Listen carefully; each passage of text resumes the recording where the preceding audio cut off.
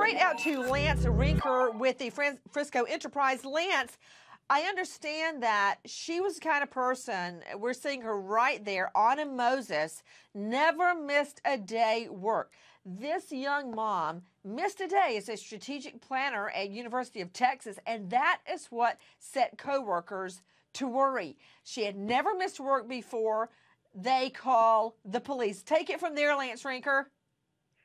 Thank you for having me on. Yes, she was one of those committed individuals where she never missed a day. If she wasn't feeling well, if she was going to be late, her her coworkers and even her boss said that she would always call. She was in constant communication. And some of her close personal friends have said the same about her, is that if they would reach out to her, she was always available to them, and they all became concerned when they hadn't heard from her for a few days. Let's take a look at what we know. For those of you just joining us, a young mom has been found dead in her Frisco, Texas home. Take a look at that home. What do we know? Michael Christian, it's my understanding that there was no forced entry. Is that correct?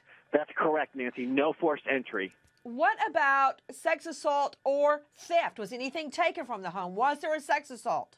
Police have said that nothing was taken from the home. We do not, however, know about sex assault or actually how she died. Police are was not there releasing a forced that entry? Just a couple of quick questions, Michael. Was there a forced entry in the home? Don't know. We do not know. Huh. Do we, we know if there so. do we know if there was an alarm system? We do not know.